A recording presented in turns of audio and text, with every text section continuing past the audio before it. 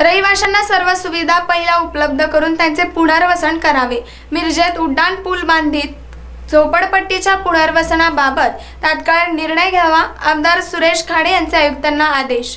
महापालिका आयुक्त आणि रेल्वे प्रशासन यांची बैठक संपन्न. मिरज कृष्णाघाट रस्त्यावर बेळगाव गेट रेल्वे मार्गावर उड्डाण पूल मंजूर झाले आहे. या उड्डाण पूल बांधित होणाऱ्या झोपडपट्टीमधील रहिवाशांच्या पुनर्वसनाबाबत आज आमदार सुरेशभाऊ खाडे यांनी महापालिका प्रशासन आणि रेल्वे प्रशासन यांची संयुक्त बैठक घेतली होती.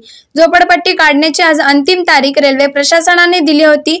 दोन महिने वाढीव मुदत रेल्वे प्रशासनाने आज झोपडपट्टी रहिवाशांना दिलेली आहे.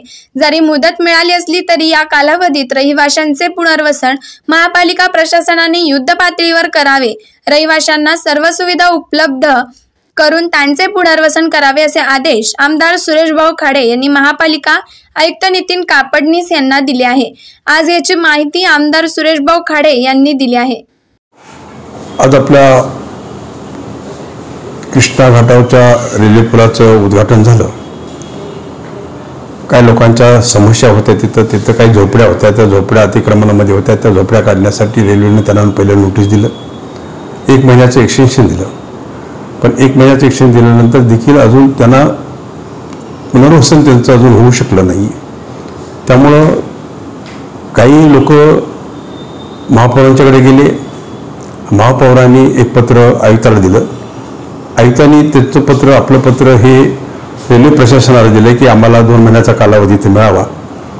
त्यावेळेला रेल्वे काय अधिकाऱ्यांशी बोलून की बाबा रेल्वेचं पुलाचं काम कुठं अडथळा निर्माण होतो का? याची पडताळणी करून आज रेल्वे प्रशासनाने त्यांना दोन महिन्याचं एक्सटेन्शन दिलेलं आहे.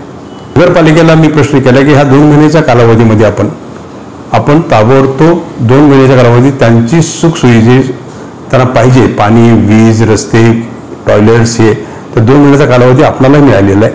त्यांना मिळाला मिळाला तसा नगरपालिकेला मिळालेला आहे. आणि नगरपालिकेनं दोन महिन्यामध्ये त्यांच्या सुखसोयी उपलब्ध त्यांना करून द्याव्यात. त्यानंतर दोन महिन्यानंतर नगरपालिकेलाही टाईम मिळणार नाही आहे आणि झोपडपट्टी ब्युरो रिपोर्ट एसबीएन मराठी.